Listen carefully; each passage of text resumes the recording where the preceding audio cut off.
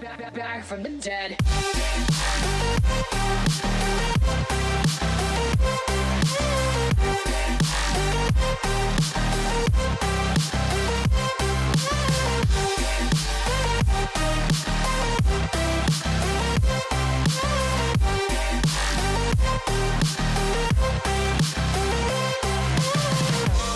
Ladies and gentlemen, the countdown has just begun.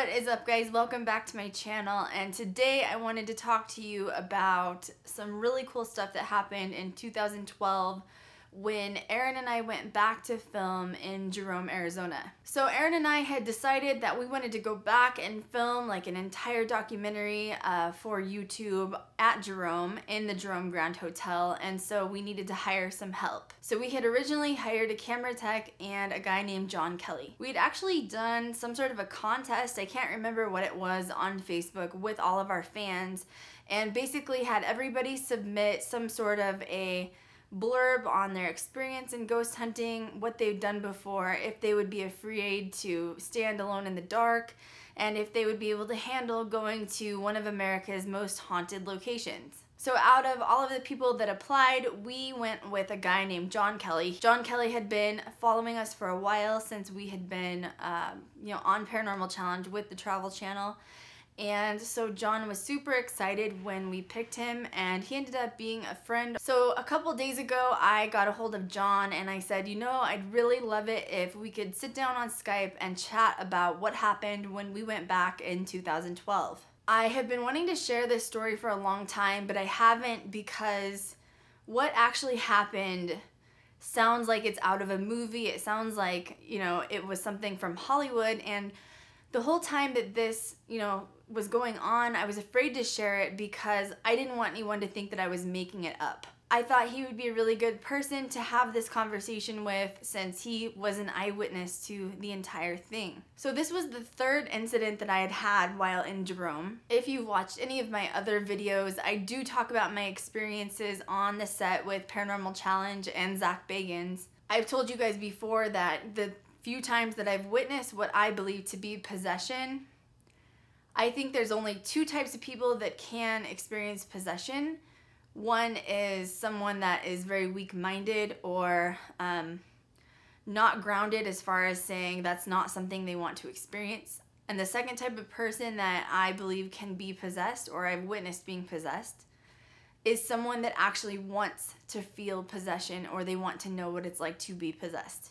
Now, at the time that we went back to Jerome in 2012, which is the conversation you guys are about to see between John Kelley and myself, I was not as experienced or fluent in possession or in a certain situation where someone could be in harm's way or something like this could happen. I know that I had already been through a couple of dark incidences. This one was definitely the top this is probably one of the worst experiences that I've ever been through. I actually just finished interviewing John and I'm about to show you guys the footage. So anyway guys, I'm going to show you this footage of John and I having a chat about Jerome, Arizona. I will see you guys in a few minutes. What is up, John? I'm so excited that you were able to chat with me because I have been dying to tell everybody what we went through. Yeah, it was it was some crazy stuff for sure. How have you been? I've been good. I've been really good. So now I just want to like bring everybody up to date. We Aaron and I from Paranormal Challenge did some sort of a like I think it was like a competition. Everybody that wanted to go with us to film, uh, we were gonna basically pick somebody. You'd been following us for a while, and Aaron and I picked you, and we were like, let's do this. And so we scheduled a trip to Jerome for like five days, and this was, God, was this like 2012, I think, or something like that? Or okay, was it? Yeah. And uh, so you were going as production help, like you were like the official production assistant. Like you pretty much filled in wherever we needed you is what what you did. Yep. Yep. Sure did. Okay, so we left on God a Sunday night, and I think we got there. In wee hours of like the morning of, of Monday, wasn't it? Yeah, I think so. Makes sounds about right. And Chris was, uh, he's still the manager of Jerome Grand Hotel. And Chris had told me, um, I'll basically give you access to the entire hotel and the old building. And we were like, yes, we are going to do this like giant ghost hunt documentary. And, uh, we were ready for it. So I think we planned Wednesday was the day that we were going to actually start officially filming and, and investigating. And I just wanted everybody to kind of chill for a couple days because it was such a, it was like a 14 hour drive, wasn't it? Or something like that. 12, 13, something like that, yeah. Yeah, all the way, we went Denver to New Mexico to Arizona. Is that the way you guys still drive it? Yes. Is it? Yep. Yep. Okay, so. Yeah, with a couple stops in between in case you need to go potty, right? Oh, yes. Oh man, it's a long drive. I'm glad that I'm only a few hours from Jerome now. Um, so, this is like, this is kind of is an intense topic because this was like some serious shit, you know, that we went through here. And I've wanted to share this for a while, but I think I told you I was really afraid that people weren't going to believe what I went through because I mean what all of us went through really, you know, but it it almost sounds like a new episode of The Exorcist. right? I mean, an authentic version, if you will. So, I mean, I know, so we got there Monday. Um, Monday, we basically hung out around the whole town of Jerome. And then, um, you know, Monday night we went to dinner, didn't we? We really hung out and did all this random stuff. And um, Tuesday, I had uh, scheduled an interview walkthrough with Chris um, in the old building, which is the original hospital from like the 1700s. And no one lives in that. There is a couple of businesses. Lonnie has a business out of there. Uh, there's a lady named Melissa that has a rock shop. Um, but Chris was going to give us like an actual tour interview of the rest of the building, and it was the first time you'd been in there too. Yes. And so, just so everybody else knows, it was Aaron from Paranormal Challenge, me, Chris, the manager, you were there, and then we had a camera tech that was there that he had been hired to, you know, basically just do the camera work. He wasn't doing any sort of investigating, he wasn't trained in it, he didn't believe in the paranormal, he didn't he wasn't interested in it really. He was in film school and we were helping basically build his resume. And you were more interested in the paranormal than he was. And you were helping do everything. Like you were doing camera work, setup, ghost hunting, investigate, right? Like you were doing everything with us. Yep, anything so, you needed, that's what I was doing. Yeah, a little bit of everything. John, I need you. No. so, um, this other guy, I don't want to, I don't want to talk about his name or who he was and that's only because he did um, didn't want to be associated. Like, let's just be honest. Like, he he had such a, a traumatic experience. So, out of respect for him, I don't really want to use his name. But so that night, or that day, I guess rather, that we were inside um, the old hospital. So Chris and I, you know, we did this interview walkthrough type of thing. You were helping with like video and audio, and Aaron and I were doing the interviews. And then um, when we were done, we had some time, and so we all decided to split up from the three levels so the basement level, the mid level, and the top level. And the reason we wanted to do that was because Ghost Adventures did that, and they had gotten a lot of really good evidence. And I think if I remember correctly, it just had gotten nightfall. I mean, we're not talking nighttime, but it just got a little dark outside, right? Yeah, it was it was sun was setting a little bit. It was starting to get dark. Okay, and I, that's when I was like, let's just try this. And you were like, yes. No. so uh, you and Aaron went to the third floor, right? Yes. And then, oh, there's a car outside. Sorry. It's live. It's a live video. What do you expect? No. There you go. Um, middle level was You me and Chris. Yeah, me and Chris which is the manager. And then the, the basement floor or the bottom floor was the camera tech. Right. Yep. Okay, so we're like all investigating separately. We have walkie talkies so that we can communicate. and and camera you know each of us have cameras don't we and we have like ghost gear and everything we're just investigating and uh, time got away from us and we realized that it was it's been like 30 45 minutes probably more closer to the 45 minute side Yeah, that sounds right. and i think i you had the walkie and i walkied to you and i said john is the camera tech up there and you were like no no one's come up Right. right and yeah, he was with you guys. So Yeah. I had no idea where he was. So then we all got concerned because we were like, well, he was by himself. So Chris and I kind of panicked because we're like, where's everybody at? Because he's not responding through the walkie. Exactly. And so Chris and I go downstairs to the first floor of the old building and we can't find him. And so we assume he, maybe he got scared and, and left the building. I don't, you know, we don't know.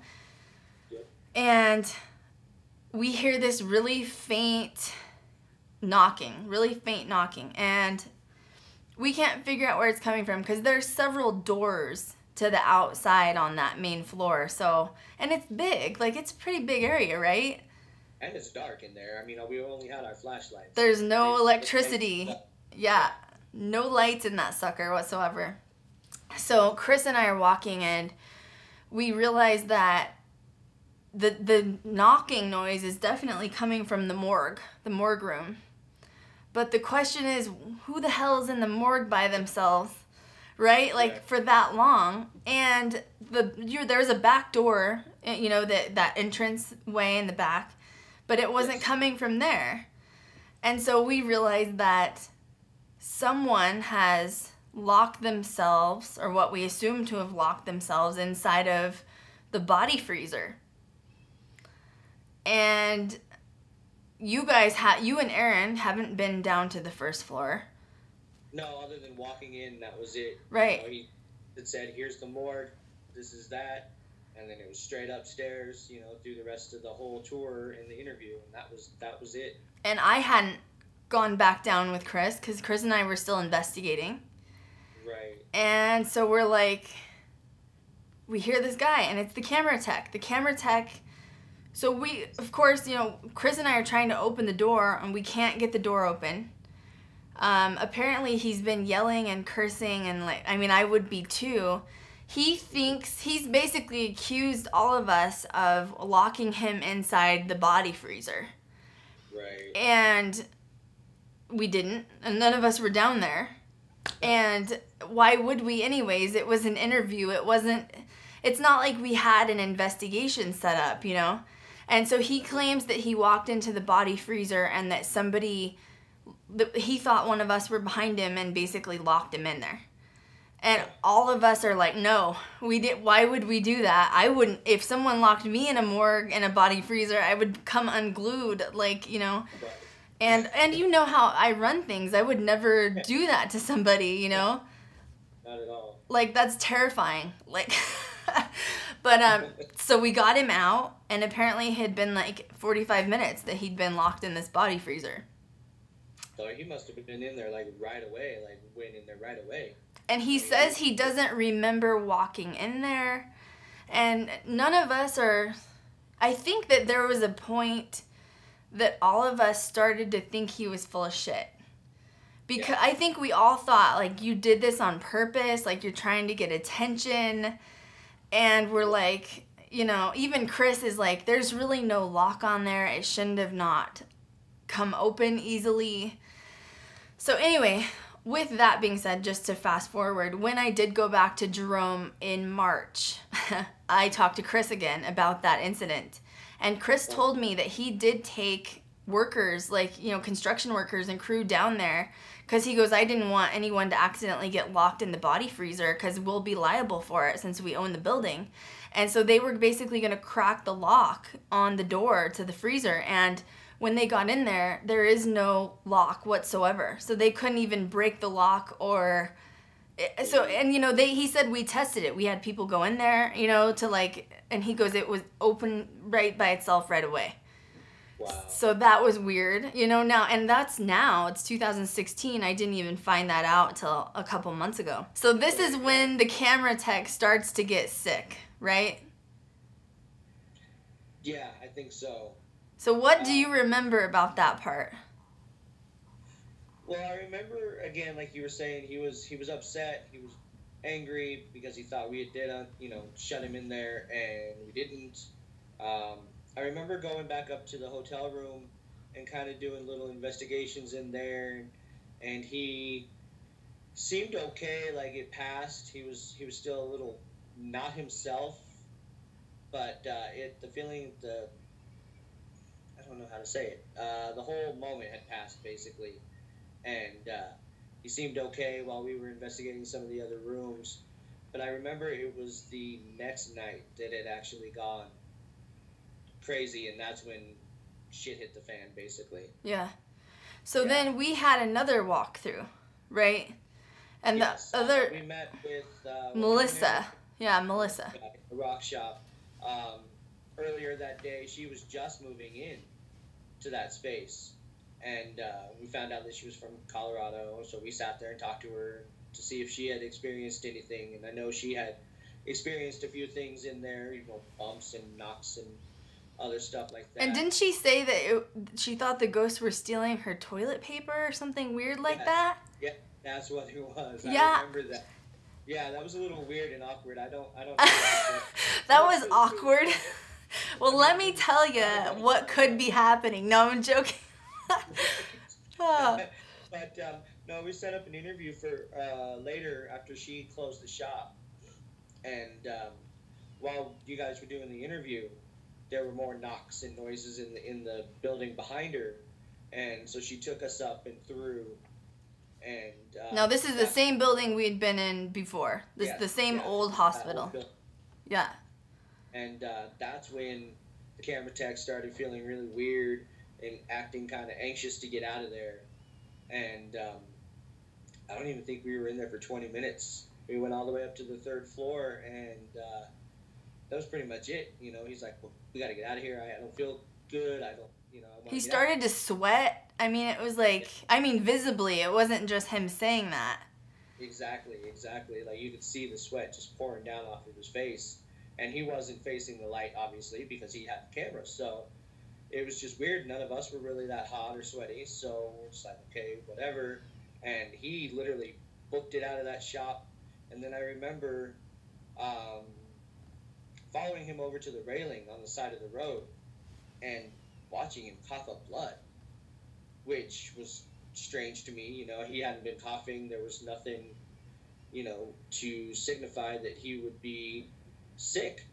So to see him coughing up blood was a little strange and kind of freaked me out, honestly. But it was just, it was weird. And that's when I got you and Aaron, and we decided to just go back up to the hotel. Yeah, that was weird. I remember saying, "Where is it?" Because I was like, I, I felt like you. I wanted proof, and I remember there was just spots and speckles of blood all over the sidewalk, even where he had missed, and I was like, "What the heck is this a joke?" You know? I was like, and you're like, "No, I've been watching him do this for like ten minutes." Yes, yeah, because at first I thought, you know, he had some fake blood and he was just covering his mouth and, and doing it that way, but there was no, no, it was it was all real. I know it was pretty scary. It was weird. It was one of the weirdest experiences I've ever had. So I remember that he went. We wanted to like shake it off, basically. So we took all the equipment back to the hotel, and then we decided to go eat in downtown Jerome. yes. And uh, it was getting late at that point, and we went to the Haunted Hamburger, which is like the coolest freaking restaurant ever. Speaking of that, did you get to see it when you were there last time? How much it changed? It looks great, doesn't it? They have a balcony in the back now. Yeah. so awesome. It looks awesome. It looks great. So I remember towards the end of the meal, we, I said, "Oh crap, you guys!" And Aaron and and I both said, "We know what these storms are like here in Jerome. It's no joke because it sits on the side, very high side of the mountain, and when they get lightning storms." It's not like three miles away. It's like right in front of your face.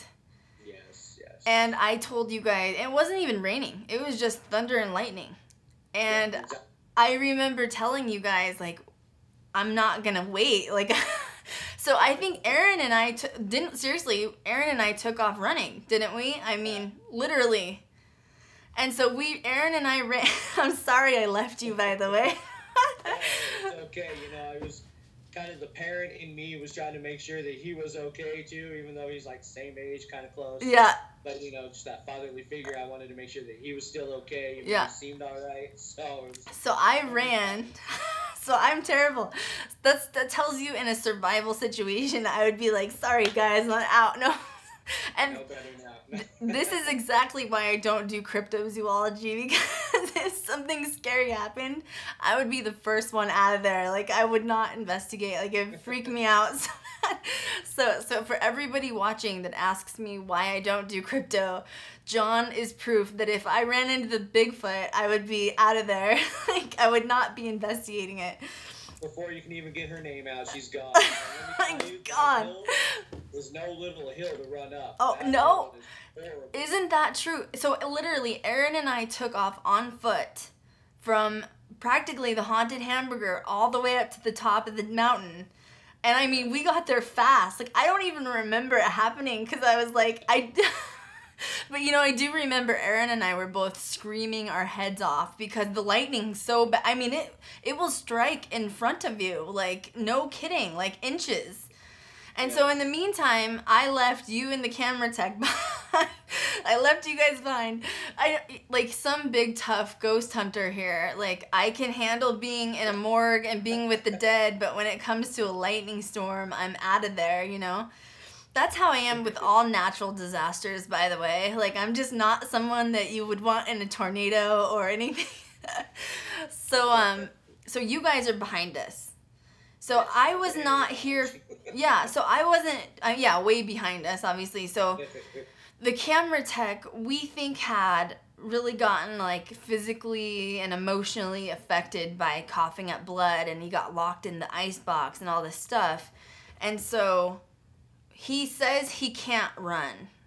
And I, I don't think that's the case, but he says that he can't run. I think that he's just kind of panicked. So you're walking with him, and I wasn't here for this. I was with Aaron gone. So I'm gonna let you talk about what happened while you guys were walking up the hill. Okay, well, I guess a little backstory. Um, you had told me about these things called crawlers that are around the whole area. Um, A lot of people claim they see them. I've seen them in the building.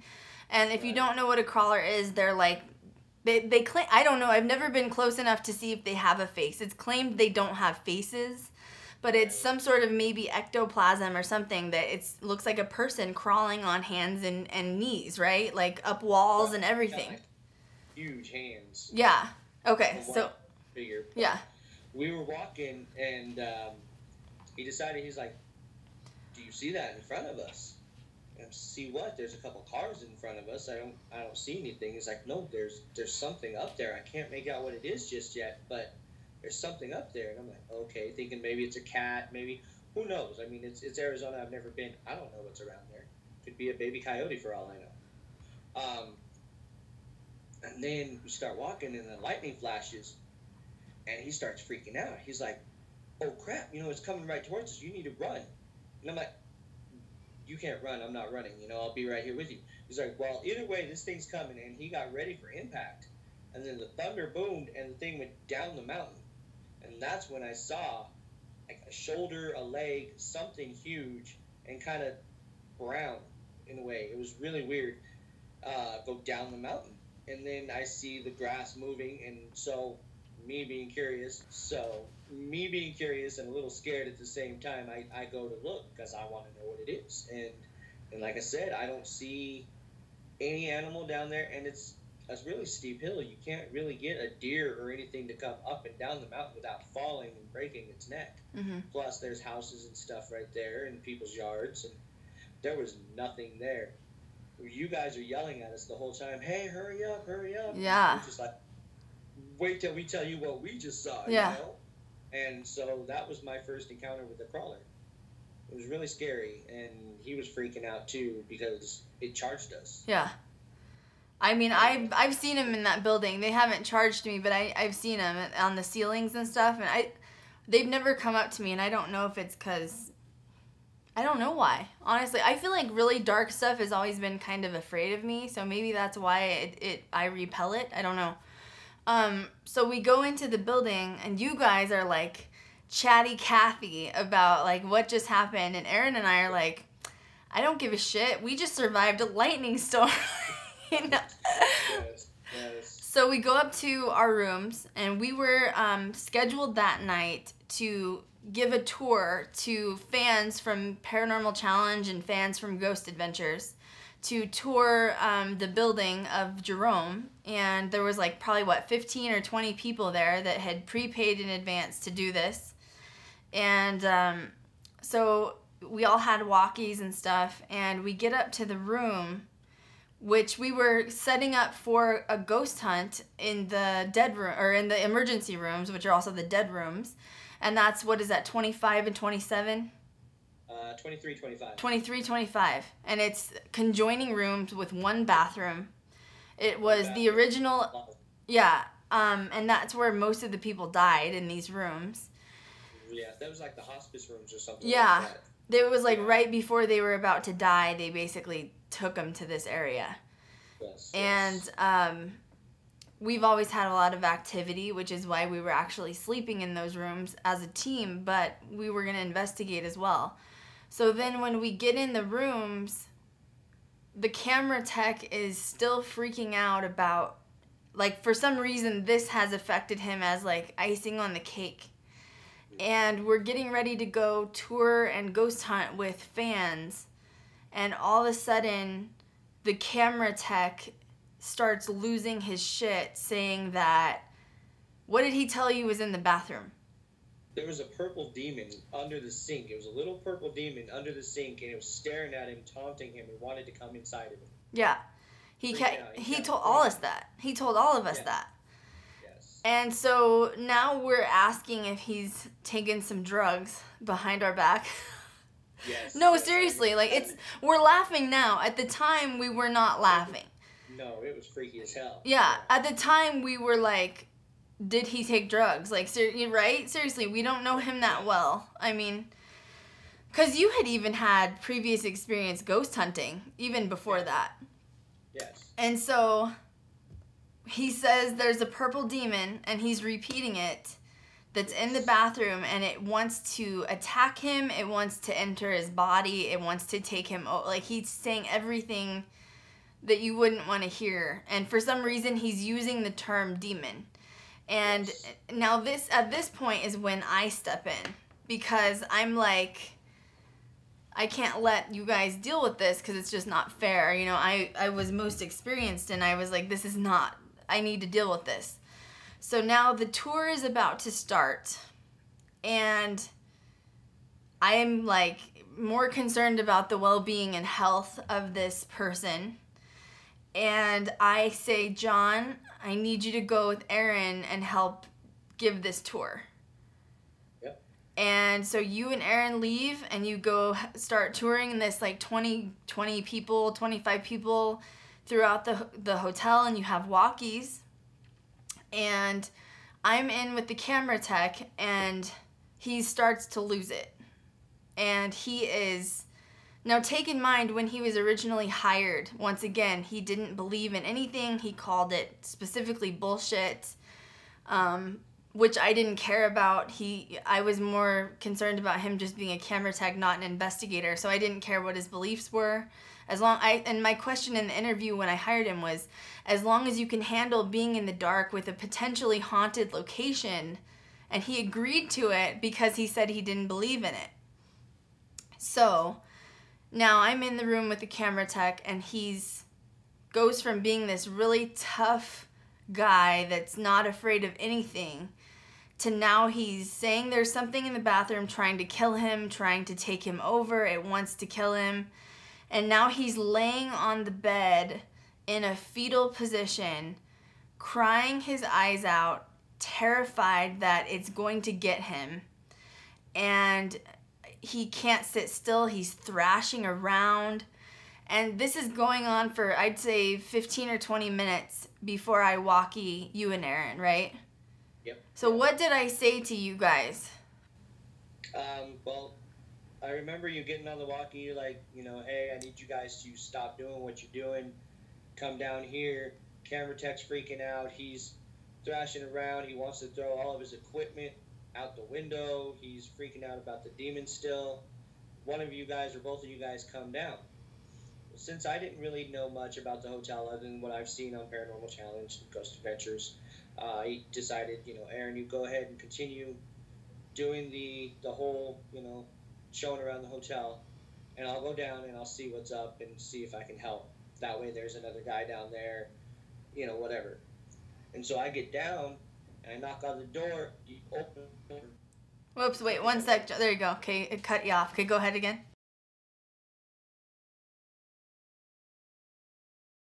And so I get down and I knock on the door. You open. the door. And so I get down and I knock on the door. You open. the door. And so I get down and I knock on the door. You open. the door.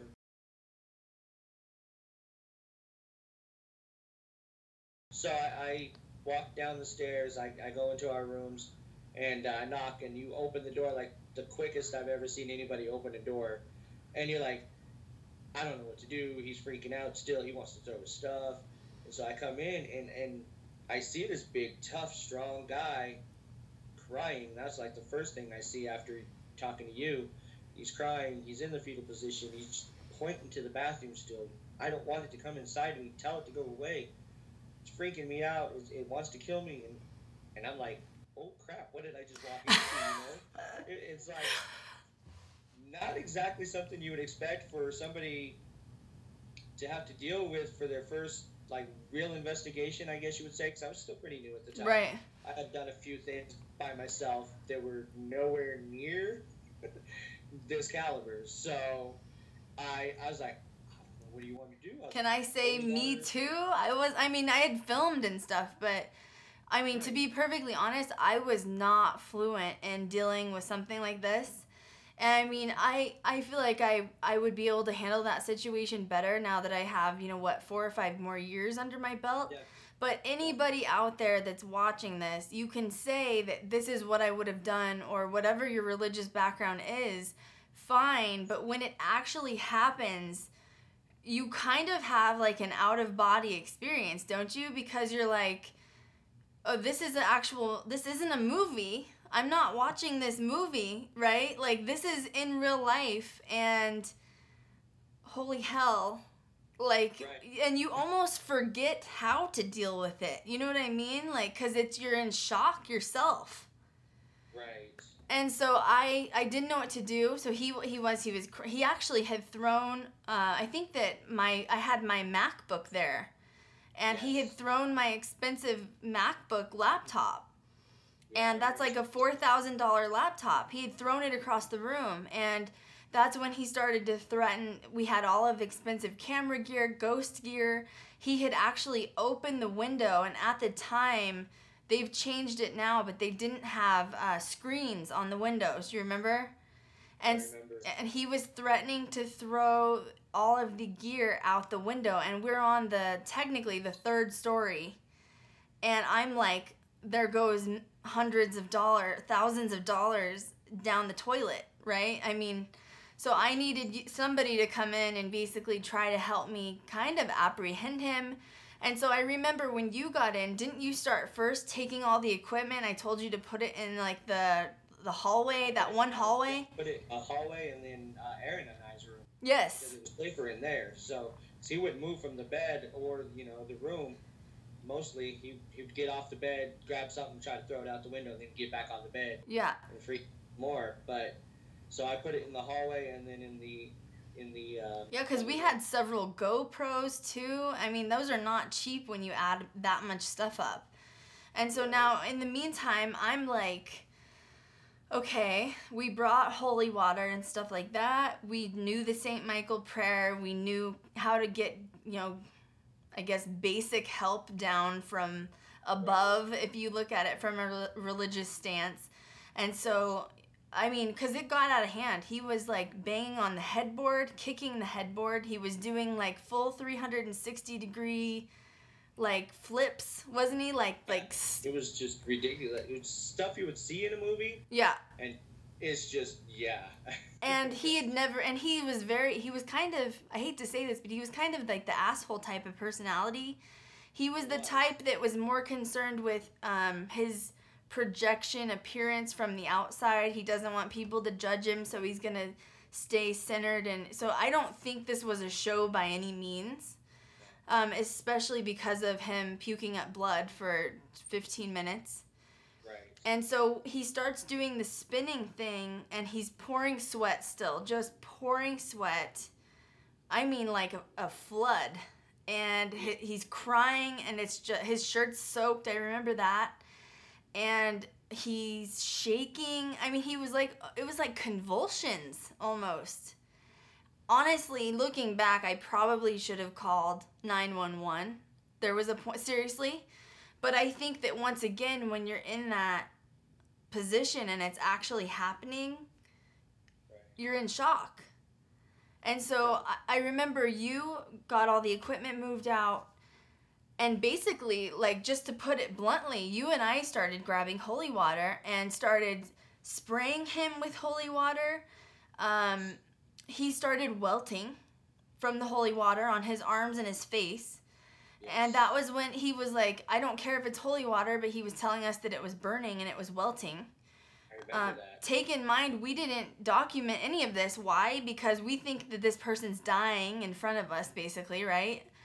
And Yeah. so you and I are now, we've like sprayed him down, we've sprayed the room down, we've sprayed the bed down, the bathroom, right? Like you and I went from like ceiling to floor, just everything, right? And so, and we're like, you and I are saying the St. Michael prayer. And we're, I mean, we, God, how long do you think that we did this for? Like an hour? At least, at least Aaron was still gone and still doing the, the tour and everything else. He knew. Yeah, Aaron wasn't there. He had no, thank God, I mean, that he was able to be there for the, the fans and stuff. So you and I are playing preacher, basically. Right? I mean, we were saying prayer. You knew different prayers. I knew different. Pr- like, we just did what we had to do. Exactly. We didn't know what was going to work, so we just threw everything out there to see. Yep, just hoping. And Yeah. finally, we did notice it started to work. But that's why I think we kept doing it was cuz it was like it would improve the longer we kept going. Yep. And finally, when he stopped crying, he literally stopped.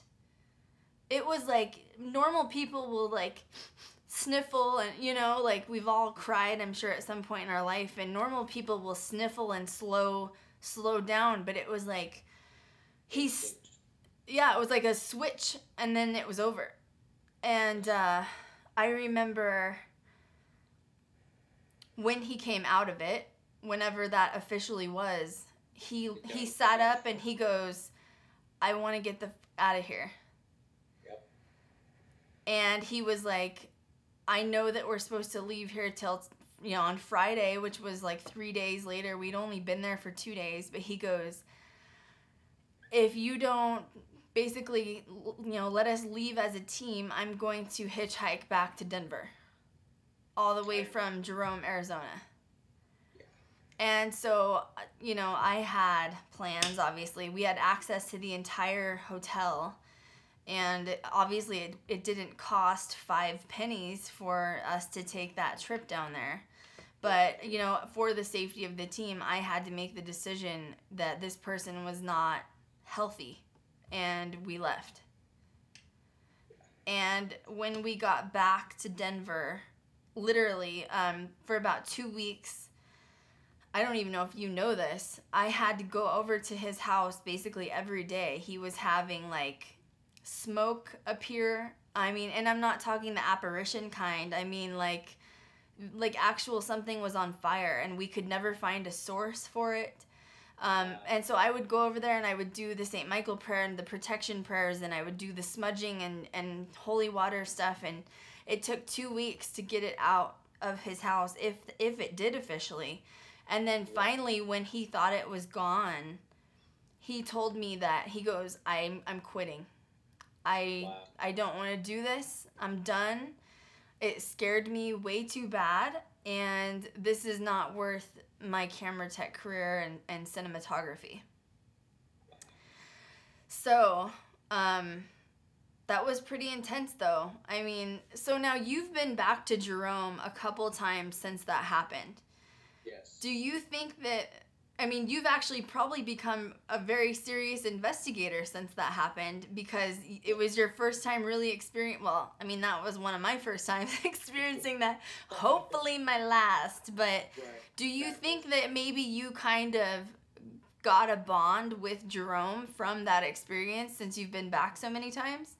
I think so, and and it's funny because I definitely want to go back again. I'm already thinking about and trying to plan going back. Um, I did talk to Chris a couple times, and you know, when I went back the first time after we had gone, uh, it was it was kind of crazy because uh, Chris had remembered me from when we went and the whole situation with the camera tech, and it was it was I know it's a small town, but it's just kind of weird to have everybody know what happened when it was so just condensed into us. It, it felt like. I mean, I know you obviously had to let Chris know what was going on, Mm-hmm. But for for the rock shop, all of them to know Lonnie even, and you know, and they were all asking, "Hey, how is he doing?" And at that point, I hadn't really talked to him, so I didn't know, Mm-hmm. and it was just it was crazy and surreal. It's just yeah, Yeah, I we had the the following day. We ended up leaving early, like eight in the morning or something. yes, And we had we were supposed to have an interview with Lonnie that morning, and then that night was like the lockdown. Like we were legitimately gonna investigate that night everything, and uh, I had to call Lonnie and apologize all over myself because. I don't like to set up interviews and then we're not there to do it. That make doesn't make me look bad, you know, good. Um, and then I had to tell Chris, and you know, Chris was expecting us. You know, he booked that week for us to not. He had no customers, which I'm sure was a lot of money that he lost, and um, you know, he booked it as an empty for us. Literally, he had. If you, I mean, tell everybody how cool it was to have the entire Jerome Hotel. Chris went through and opened every single door for us, didn't he? Yes, he did. It was it was great. You know, walking up any floor, pick a floor, pick a room. We can go in. We can investigate. Yeah. great. I know fourth floor. I remember we walked up there and all the doors were open, and it was like it was like our version of Candyland, wasn't it?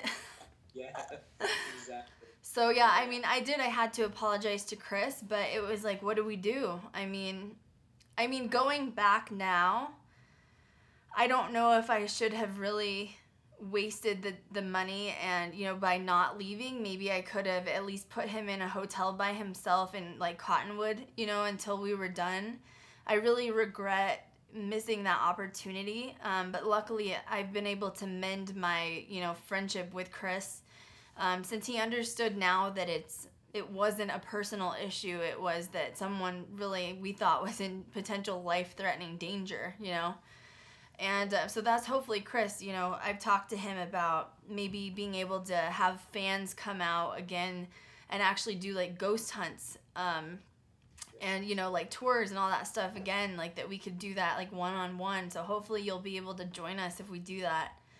Definitely, that'd be great. It was intense, man. And thank you for surviving through it with me and, and Aaron. And uh, I mean, I don't know. You know, like Aaron had, we thought, a possession on set with Paranormal Challenge. I know that we I told you that, and I, I've shared that on YouTube as well. But this was just even worse than that. I mean, with the blood and the the seeing things and getting locked in the body, you know, the the freezer body freezer thing, you know, all this stuff and I've never been through that again and I think that's why I really started to learn more about you know, versing myself in darker stuff. And that's only to protect the team cuz like I treat my team like a family and I don't want anyone to ever get hurt. That was Yeah. not fun. That was scary. No, it was definitely scary. I mean, we laugh a little bit about it now just because of how, I guess, inexperienced we were at something like that, and how it just threw us all for a loop. And, Yeah.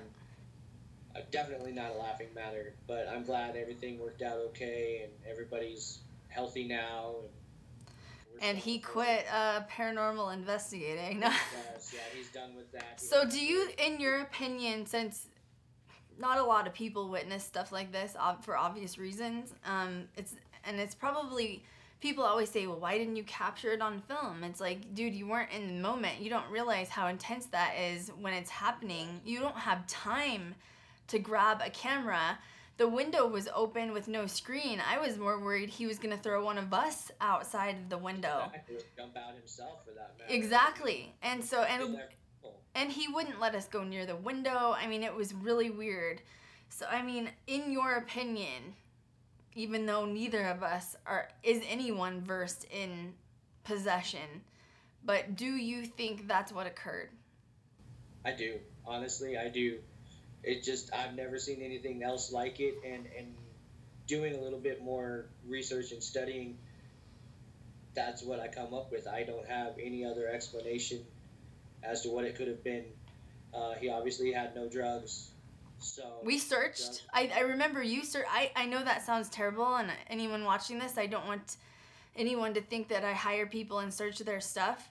But I do. I remember after you moved all of the equipment, I told you to go through his stuff and look for drugs.